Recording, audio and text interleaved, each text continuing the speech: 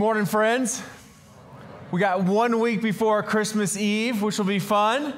And then we're going to finish the book of Revelation on December 31st in two weeks. We are in chapter 21 today, and we'll conclude in chapter 22 in a couple weeks. And so if you got your Bibles, let's go to chapter 22, or sorry, chapter 21, the last page in your Bible. The Bible is 66 different books written by more than 40 authors in more than three languages, talking about one unified story. And we concluded last week looking at Jesus Christ's return, setting up what was seen as a millennial kingdom. I misspoke about one person last week. My friend Julie let me know that Voddie Baucham is actually in an Amill camp, not a premillennial camp, for those who can recall last week and would like to properly place him. But here we're on this last page of the Bible. And I could go just verse by verse and try to pull it apart for 35 minutes. But I think we should first go to the very first page of the Bible and see if we can sew this story up together. For our greatest hope is not that we go to him, but that he comes to us again. Our greatest hope, which is going to be very surprising, that on the last page of the Bible, it's not a description of a heaven scene, but what comes out of heaven to restore the earth. So keep your finger on the last page of the Bible, and we're going to go to the very first page of the Bible, Genesis chapter 1. And you're going to have to hold some things in your mind today for about 25 minutes. Are you game for that? I, I hope you are.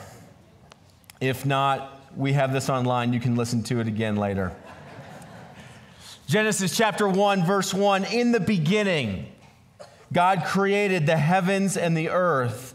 The earth was without form and void, and darkness was over the face of the deep, and the Spirit of God was hovering over the face of the waters. And God said, Let there be light, and there was light.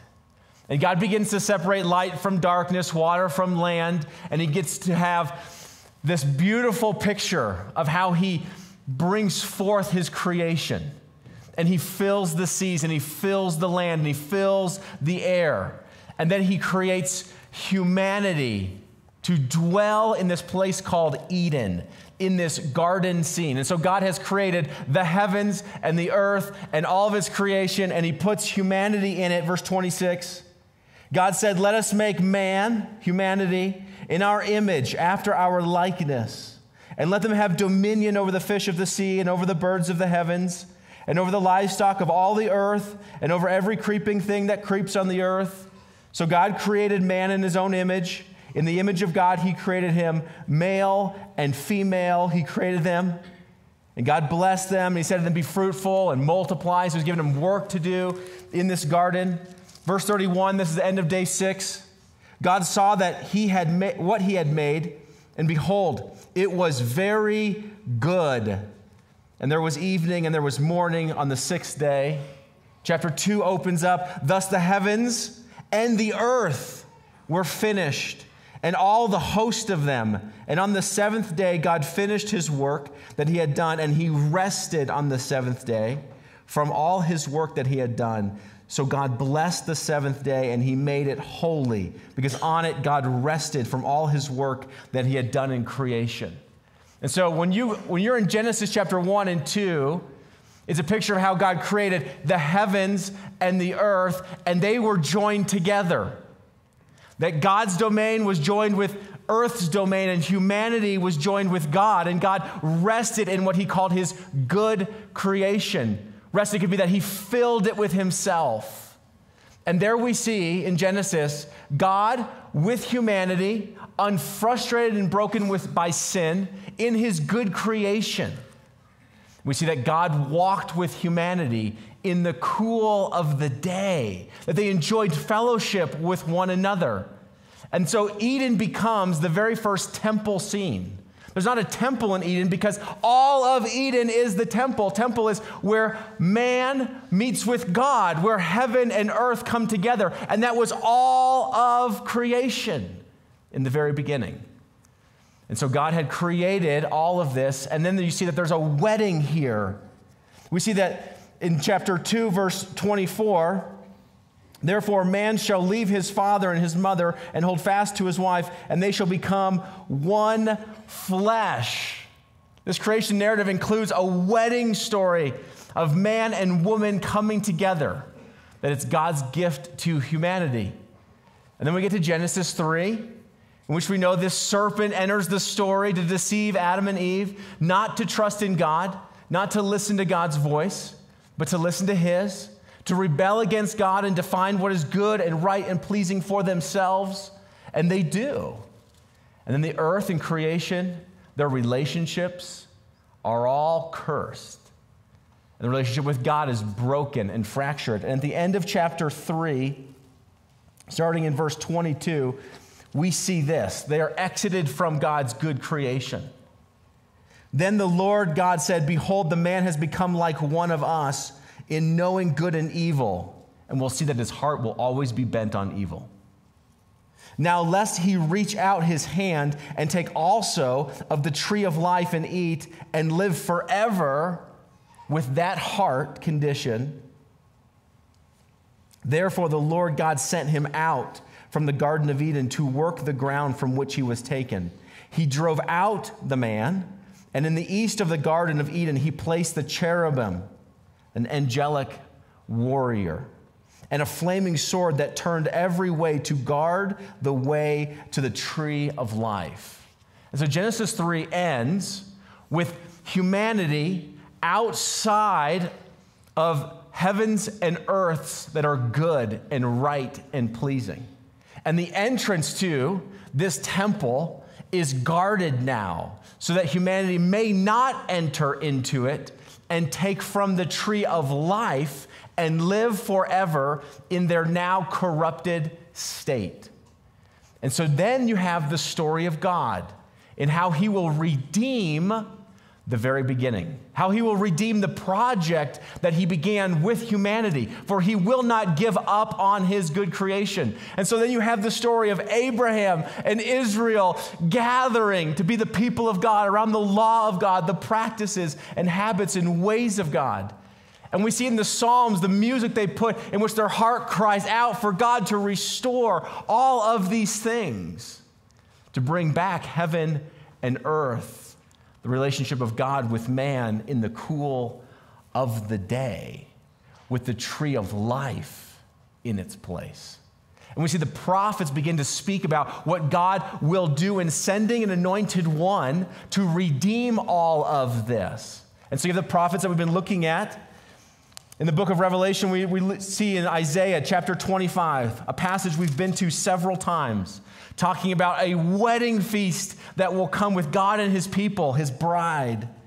Verse 8, he says, He will swallow up death forever, and the Lord God will wipe away tears from all faces, and the reproach of his people will be taken away from all the earth, and the Lord has spoken.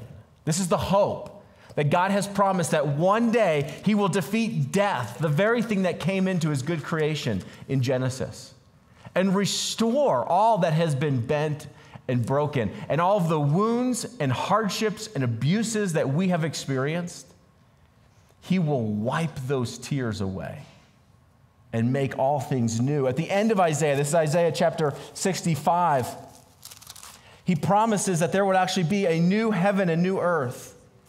Verse 17 of 65, God says, For behold, I create new heavens and a new earth and the former things shall not be remembered or come into mind. He says, Be glad and rejoice, for in that which I create, for behold, I create Jerusalem to be a joy, and for her people to be a gladness. So, new heavens, a new earth, a new Jerusalem will come. This is the hope of a nation, of a people longing for God to restore what has been lost on the very opening pages of the scriptures. The prophet Ezekiel, that we have been in through this whole series, speaks about a day that is coming, that he will restore a temple, a place in which God and humanity will dwell. But this temple, that Ezekiel describes from chapter 40 to 48 is the most unusual temple. It's like it can't be built by human hands. In fact, it has a river of life flowing from it to the seas, in which gives life everywhere. Ezekiel 47 1. Then he brought me back to the door of the temple, and behold, water was issuing from below the threshold of the temple towards the east, for the temple faced east. The water was flowing down from below the south end of the threshold of the temple, south of the altar, going out to the seas.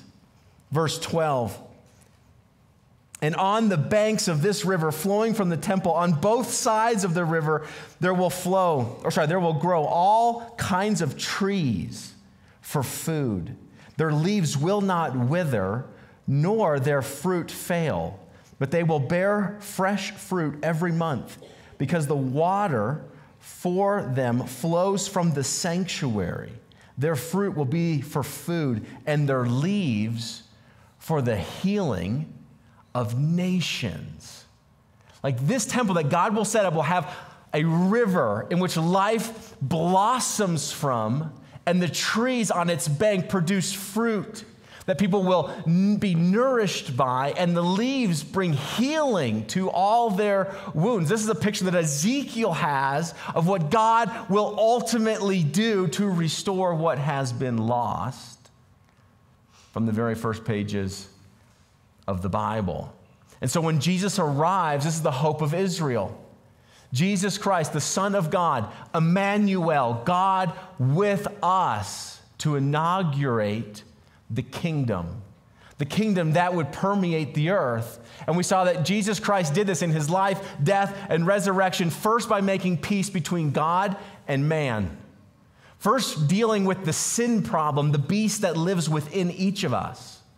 That same sin that separated Adam and Eve from God and his good creation that lives within, within us had to be first dealt with. And then another longing went out that he would culminate the project that he began, that he would bring to fulfillment all the things that we have seen the prophets speak about, the things that he promised surely he would fulfill. And so we see in Romans chapter 8 that there's an inheritance for us who are in Christ.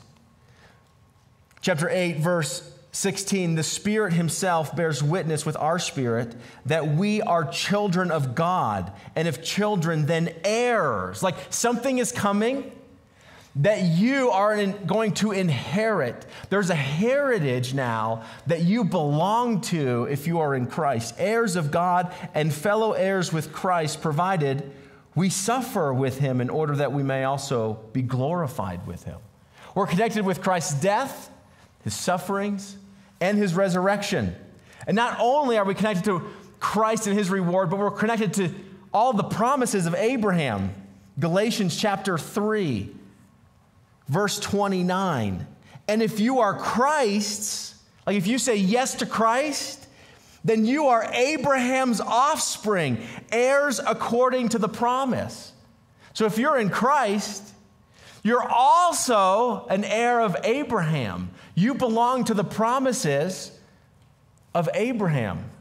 Father Abraham had many sons, and I am one of them, and so are you if you are in Christ. So we inherit the promises of Christ and the promises of Abraham. What, are, what is this inheritance? Well, it's a work that God is doing to restore all things. It's not just to save you and get you out of here, it's to redeem all things that have been broken. So, back to Romans 8. Paul says, For I consider that the sufferings of this present time are not worth comparing to the glory that will be revealed to us at Christ's coming. For the creation waits with eager longing for the revealing of the sons and daughters of God. For the creation was subjected to futility, not willingly, but because of him who subjected it in hope that the creation itself will be set free from its bondage to corruption and obtain the freedom of the glory of the children of God. in the redemption that Christ purchased for the children to be brought into the family of God in the promises of Abraham, creation itself longs for the sons and daughters of God to be fully revealed, that they would be set free from bondage and decay. You look around the world and you see the decay and disease and disasters. It's like the trees itself the ground itself is longing for the sons and daughters of God to be revealed, for Christ to come, so that the world itself would be set free.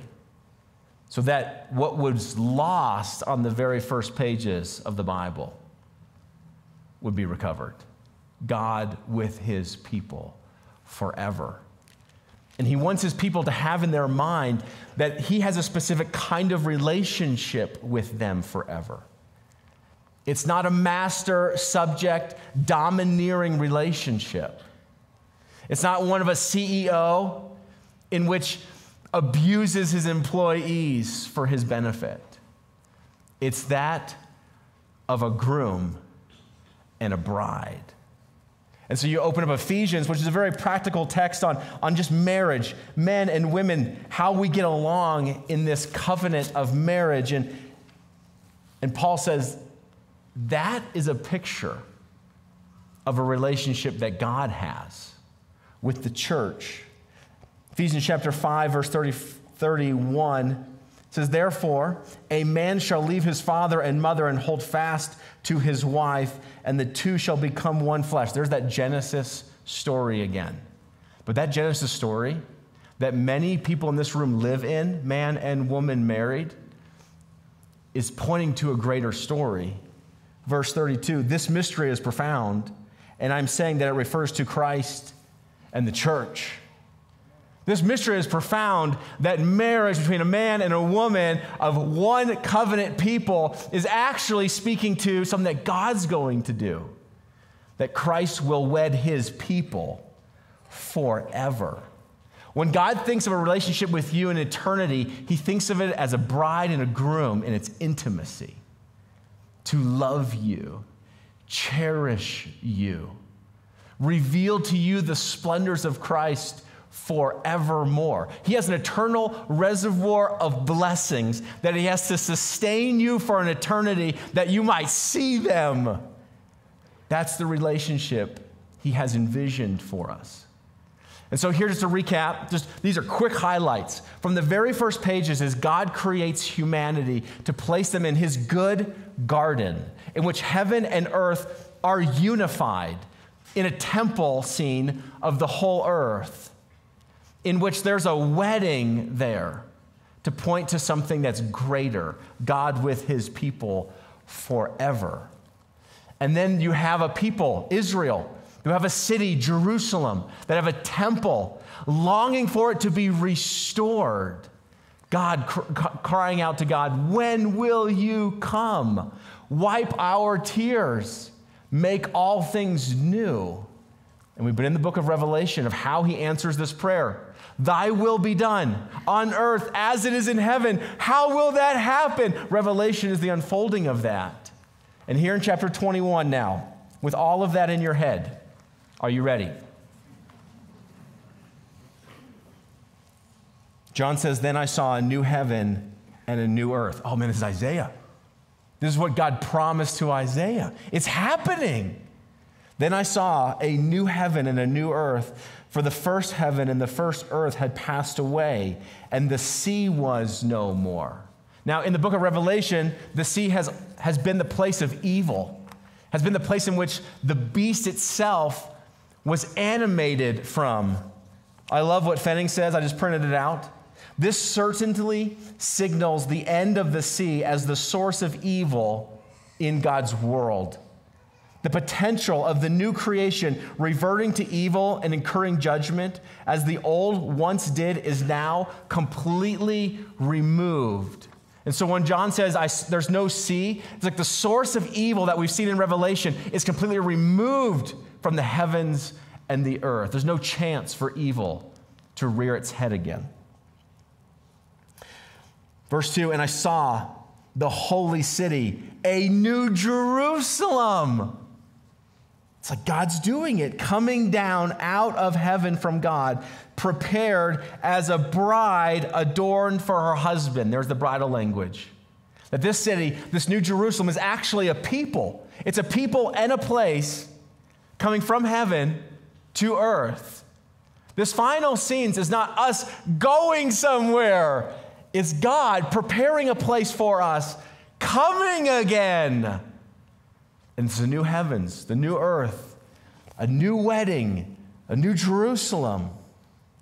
And I heard a loud voice from the throne saying, Behold, the dwelling place of God is with man. He will dwell with them, and they will be his people, and God himself will be with them as their God. Here it is Eden, God with his people, walking with them in the cool of the day and this will never end. And look what he does. He will wipe away every tear from their eyes, and death shall be no more. Neither shall there be mourning, nor crying, nor pain anymore, for the former things have passed away. I love that. Here's the new heavens, the new earth, the new Jerusalem, the new wedding of God with his people. And this is how he relates to us. This is how close he is to you is he has the tenderness to be close enough to put his thumb on your cheek and wipe away tears. That's the eternal relationship with the Creator God that John is seeing. Verse 5 And he who was seated on the throne said, Behold, I am making all things new. It doesn't say he's making all new things, does it? He says, I'm making all things new. I'm restoring what has been broken. Now, there, there's a marvelous mystery here of how all things new are also no eye has seen nor ear imagined the things that God has prepared for those who love Him. And yet there's continuity with the world in which He has restored. Jesus' resurrection is the picture of this. Resurrected bodily, visibly that his body is somewhat the same. That there, they can recognize him at times, and yet it is fundamentally different. It's transformed. And there's something about Jesus' own resurrection that gives us a clue of what he's going to do in making all things new. Let me ask you this Do you really long for all new things? Or does your heart really long for all things that have been broken, distorted, bent, and bruised to be fully renewed? And renewed in such a way that there's continuity, but there's actually transformation. It's unbelievably new. You, you almost don't recognize it. That's what God is doing, is all things new. Also, he said, write this down, for those words are trustworthy and true. And he said to me, it is done. It's finished. Those are the words like on the cross. The sacrificial death of Christ for the forgiveness of sins was finished. And now, the redemption of all things, it is done.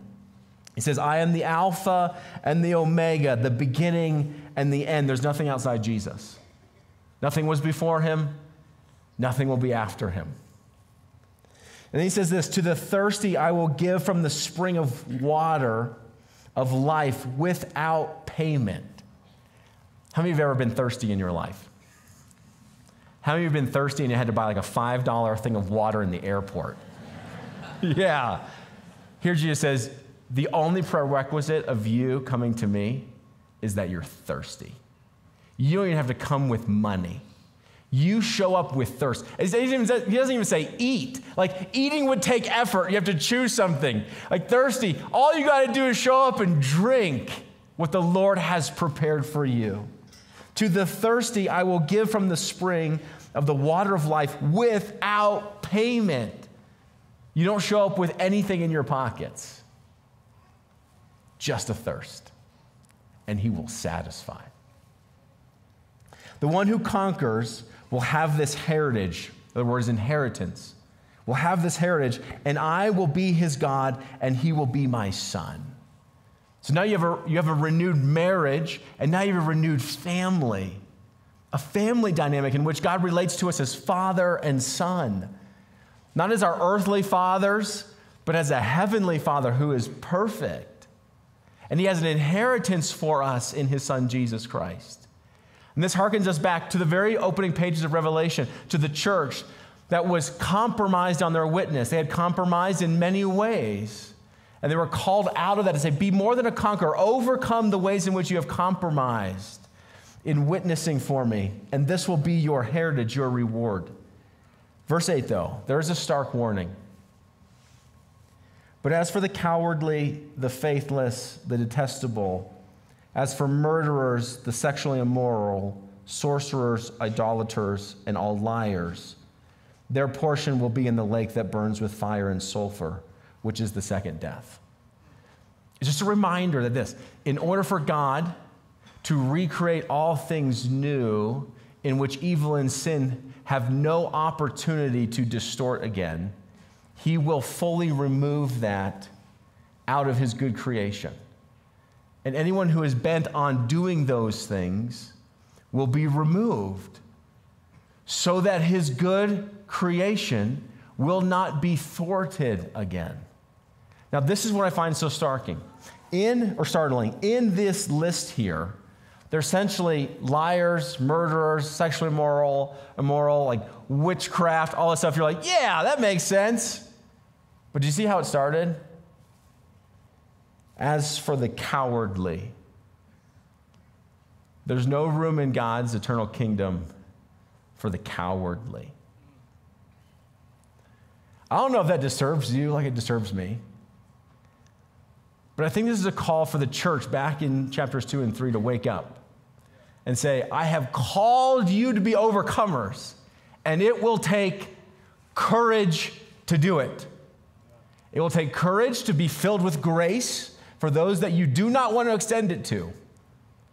And it will take courage to stand up for the truth in which you'd rather not share with people. But the cowardly are not welcomed in the kingdom. And I think for me, it's like, man, that's why I need Jesus. I'm, I'm all these things apart from Jesus. That's why his grace is so good, is that he satisfies everything in which I have failed. Then, verse 9. Then came one of the seven angels who had seven bowls full of seven last plagues and spoke to me, saying, Come, I will show you the bride, the wife of the Lamb.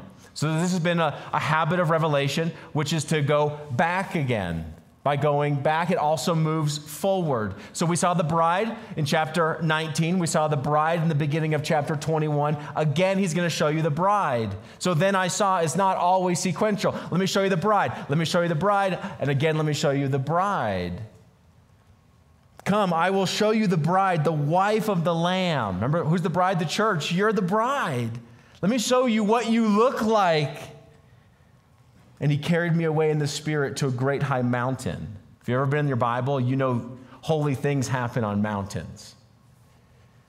And he showed me the holy city, Jerusalem, coming down out of heaven. This isn't a city that people rebuilt, this is a city that God has prepared from heaven out of heaven from God, having the glory of God, its radiance like the most rare jewel, like a jasper, clear as crystal. It had a great high wall with the 12 gates, and at the gates, 12 angels, and on the gates, the names of the 12 tribes of the son of Israel were inscribed, just like Ezekiel had said. And so these walls and these gates are set up of this city. It's fortified by these angels but none of the gates are closed. They're always open, which is an indication that this kingdom is always at peace. It never has to close the gates because it's never threatened by evil. It's a place of life. And so you have the 12 tribes, Israel, inscribed on this new Jerusalem, but not just that. It says, and the wall of the city had 12 foundations, and on them were the 12 names of the 12 apostles of the Lamb. This is the disciples. And so this, this new Jerusalem is both the fulfillment of Israel and the fulfillment to the apostles. It's one new community in Christ. It's both covenants of old and new in eternity. In verse 15, and the one who spoke with me had a measuring rod of gold to measure the city and its gates and walls. It says the city lies four square, its length the same as its width. So that means it's, it's the same long as it is wide as it is going to be high. There's one other thing in the Bible that's described that way. Do you know what it is?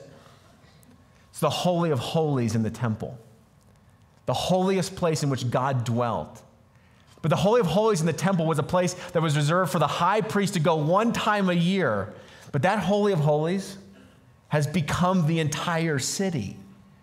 God with his people in the most holy, intimate relationship you can imagine, not restricted, fully open. And so he measures this out. The city is rod, 12,000 stadia, it says. Its length and width and height are equal. He also measured the wall 144 cubits by human measurements, which is also an angel's measurement, if you wanted to know that. The wall was built, and it just describes the beauty of this. Remember, it's always in contrast. This bride is in contrast to the harlot of Babylon, who was destroyed. And here this bride is loved and preserved.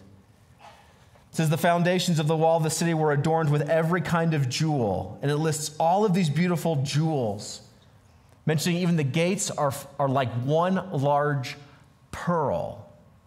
This is to show the beauty of this place.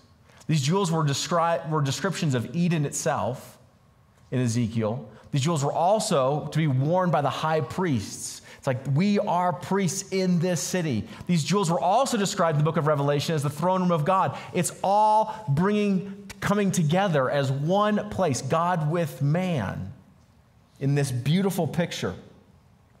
Verse 22, we'll pick up here. And I saw no temple in the city. Why don't you need a temple? The whole purpose of a temple is to join heaven and earth so that God can meet with man. Well, God is dwelling with man. There's no need of a temple. It says, And I saw no temple in the city, for its temple is the Lord God and the Almighty and the Lamb. And the city had no need of sun or moon to shine on it, for the glory of God gives its light, and its lamp is the Lamb. By its light will the nations walk, and the kings of the earth will bring their glory into it. And its gates will never be shut by day, and there will be no night there. They will bring into it the glory and the honor of the nations. It's fully diverse of people from every tribe, tongue, nation, and language are here. But nothing unclean will ever enter it, nor anyone who does what is detestable or false, but only those who are written in the Lamb's book of life. Here's that book of life mentioned again. We saw it last week. And the closest parallel is the, the registration of citizenry. Those who were citizens of certain cities in Rome would have a book in which their name was written in. It's like the old yellow pages. It's like you can actually look someone's number up. They live here. But the, the Lamb's book of life, all the names in there are the names that, that Jesus has inscribed. They belong to me. These are the list of my children. These are citizens of the city that I have made and prepared. They have a dwelling place in my city. Their names are individual and put here. Verse 1 of chapter 22. Then the angel showed me the river of water of life. Here it is from the temple of Ezekiel. Then the angel showed me the river of the water of life, bright as crystal, flowing from the throne of God and the Lamb through the middle of the street of the city, also on either side of the river, the tree of life with its 12 kinds of fruit, yielding its fruit each month. The leaves of the tree were for the healing of the nations. No longer will there be anything accursed, but the throne of God and of the Lamb will be in it, and his servants will worship him. They will see his face, and his name will be on their foreheads and night will be no more. They will need no light of lamp or sun, for the Lord God will be their light, and they will reign forever and ever. There's no instrument of illumination. God Himself is the light of this city forever. So, do you see what's happened? On the last pages of this Bible, 66 books, 40 authors telling the story of God to redeem all things, to recover what has been lost from the very first pages. The first pages of God creating heavens and earth and dwelling with man in his good creation and the tree of life by its rivers is now fully restored in new heavens and new earth, God dwelling with humanity. And there's the tree of life in this city, bearing fruit every single month, and in its leaves the healing to the nations. The world has been completely healed.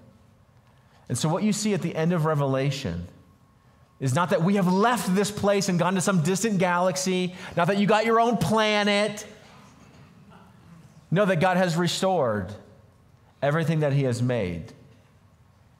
And He has brought you in, not as a subject, not merely as a servant, but as a bride that He can love forever.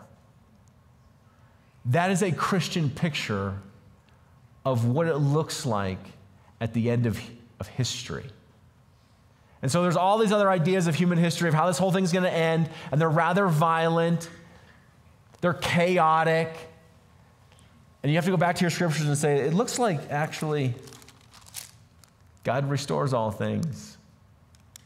And for those who love him, he welcomes them into his eternal kingdom as brides and they'll be in a forever love relationship with their Creator, God with man.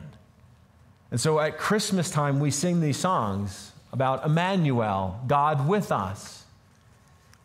But Jesus with us was just simply a foretaste of what will be in the new heavens and the new earth when he restores all of this. Emmanuel, come. We're going to sing that Christmas carol. And I want Revelation 21 in your mind when you sing. And so I'm going to have the team come back out. Let's just pray. And let's ask God that He would give us minds to see what He is going to do to restore all things. And so, Father, we thank you for a revelation, a revealing of things that we would not otherwise have known, of what you are ultimately going to do with your creation that we have distorted, misused, bent, and broken. And so, Lord, our ultimate hope again is in your coming. And so, Lord, come. Oh, come and be Emmanuel, God with us in new heavens and new earth, in a new city, a new place, as a new people where every tear is wiped and every wound is mended, and we are loved. It's in your name, Jesus, we pray. Amen.